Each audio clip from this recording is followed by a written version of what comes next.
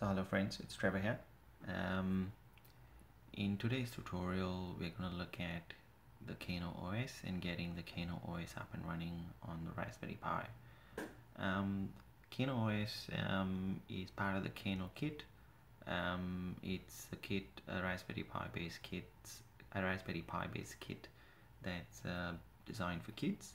Um, so let's get started and try to get our Raspberry Pi loaded with the Kano OS. Um, and then we'll do a few subsequent tutorials to cover off um, the uh, applications on the Kano OS, the coding apps on the Kano OS, and what we might be able to get out of it. Um, so here I've got with me uh, a Pi th uh, 3B Plus um, with the Sense hat on it. You, will see the Sense hat on it. Um, I've got a USB card that's plugged into it. The USB card or the USB SD card um, has been um, just formatted and I've loaded the Kano um, OS image on it. Um, I'm using a small Bluetooth receiver. The Bluetooth receiver connects to a wireless keyboard and that's how I'm going to connect um, to the Kano OS and use it. Uh, no wired keyboard, wireless keyboard. Um, this video is going to be a little flaky, a little shaky, um, hopefully not too bad. Um, yeah, until I get the camera equipment sorted out, um, that's this will have to do. So let's get started and boot up the uh, Kano OS.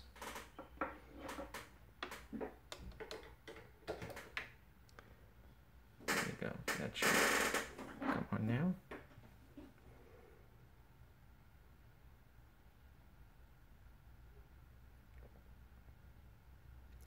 There you go. You see the screen starting to boot now.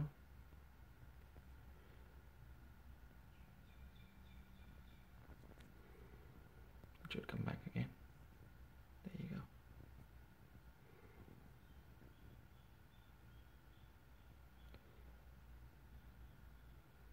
That's um, Kano booting up. Some ASCII art on the screen it's asking me to type some stuff. Um, let's see. Let's go ahead and type uh, cd rabbit hole.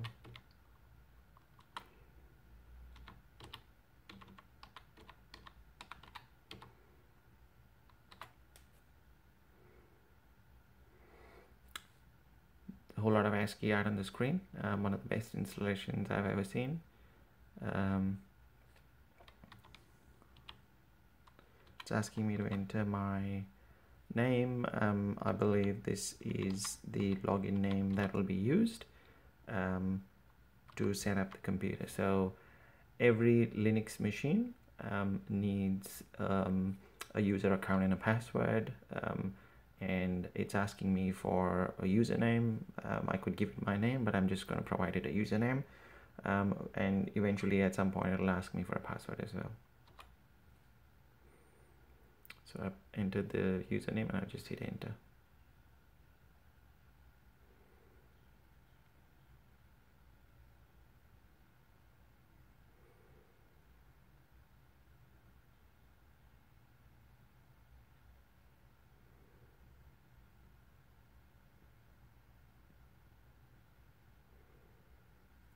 So it's asking me to hit enter to continue it says uh, type say hello and press enter.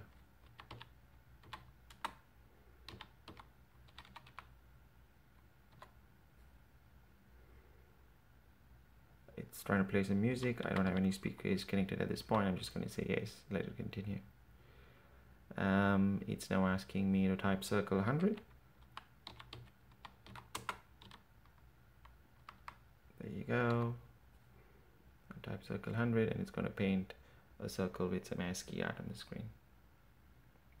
Excellent.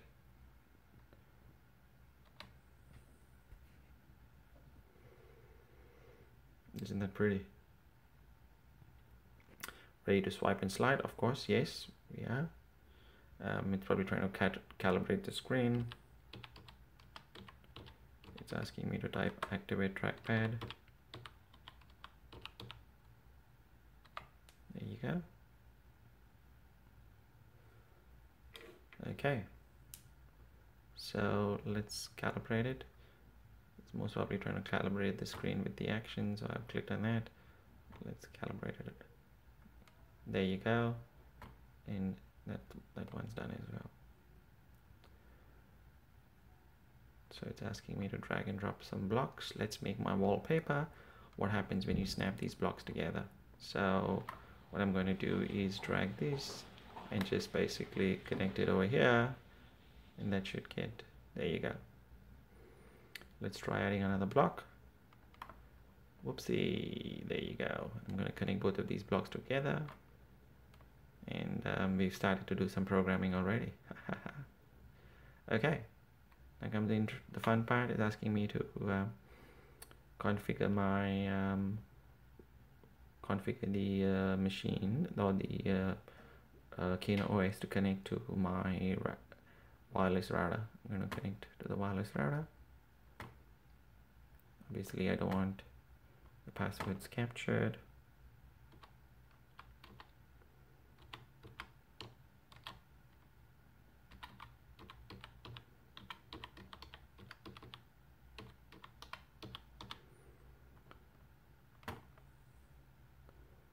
Let's hope this works.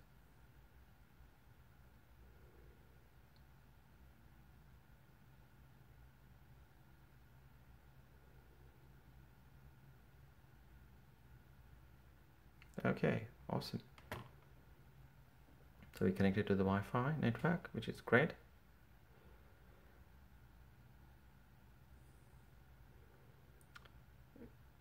Excellent, there you go.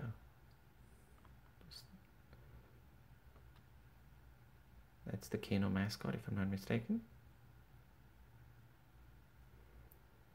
Yep, I will say I have a profile because well let's just create a new profile.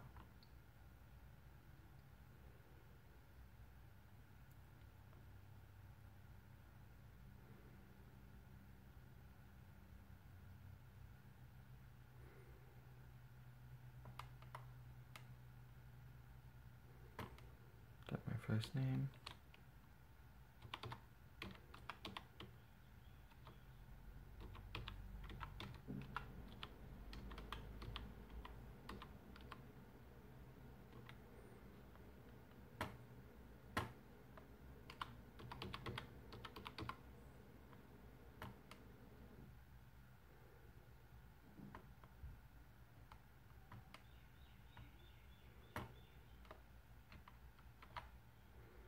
just giving it a it's asking me for my name um, a username and a password.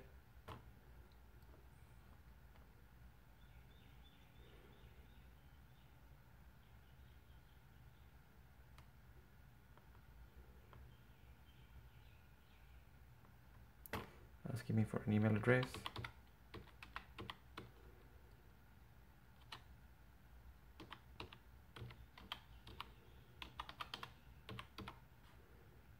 my email address and I'm join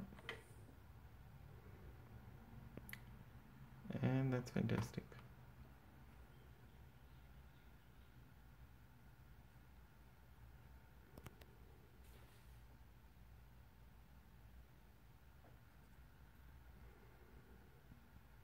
It's loading my applications in screen now for the first time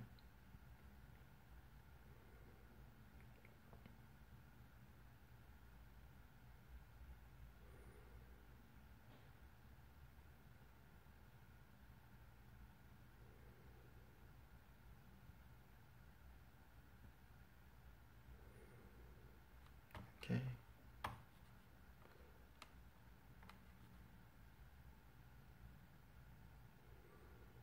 There you go.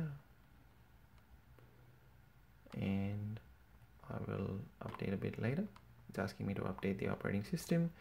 Um, let's have a quick look around. Um, we've got a whole suite of applications here. Um, a very nicely and neatly laid out dashboard I can scroll through all the apps on the screen. You can see some familiar ones as well. Um, there's Google Mail, um, Codecademy, um, where you can um, learn a whole lot of, uh, go through a whole lot of tutorials and uh, learn a whole lot of new concepts with regards to coding. Um, there's your Adobe Reader, um, your Sonic Pi to create music, um, calculator obviously. There's YouTube if you to listen to YouTube videos. Um, here's some here's the motion kit to work with the Kano sensors, the Pixel kit to work with the Kano sensors again. Here's your internet browser and a whole lot of stuff. So we'll do an, another few tutorials to go over the uh, um, applications, the dashboard and whatnot. This video is only intending to cover the the build process um, and the entire setup process for the Kano operating system. Um, they've got a classic mode as well. We can switch to the classic mode, see what it looks like. So that's the classic mode loading up. And there you go. I think I prefer the classic mode. Um, I don't know what, what about you, but I prefer the classic mode. It looks to be a slightly more cleaner interface. Um, and you got the small little taskbar with a with a start bar there on all your applications nicely loading over here there you go and that's pretty that's absolutely pretty um, let's see what kind of games they have got tux paint tux typing and whatnot. So this is absolutely fantastic. Um, let's see if we can connect to the internet. So here's our um, Raspberry Pi 3B plus. That's the Raspberry Pi 3B Plus with the Sense hat on it. Um, loaded with the Kano OS um, and now connecting to the internet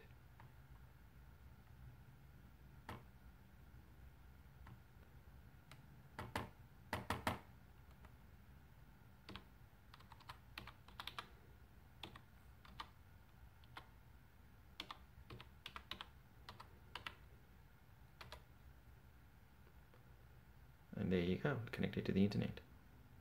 That's awesome. Okie dokie. Um, so that's the end of this uh, tutorial. Um, before I go what I might just do is just update the operating system. There's just the there was a there is the install updates. There you go. So I'm gonna just so I've gone to the bottom and I've clicked install updates and it's going to try to connect to the internet and update a whole lot of packages. So we've just installed the operating system. Obviously packages have changed since then. Um, and um, uh, now I'm attempting to upgrade the operating system. Um, it will download a whole lot of packages um, and it will um, upgrade them. Um, and basically it'll give you an updated set of packages and hopefully an updated computer at the end of the day um, that's it. Um, thank you for your time. So that brings us to the end of this video. Um, what we attempted to cover off in this video is the setup and build of a new Raspberry Pi um, computer with the Kano operating system for kids to use. Um, seems like a beautiful operating system very very useful lots of interesting applications to code to play games interact with different sensors and whatnot um, and we'll be covering off different tutorials in the future um, looking at different aspects of the Kano operating system. Thank you for your time um, and hopefully you enjoyed this video and don't forget to subscribe and leave us your feedback. Thanks. Cheers.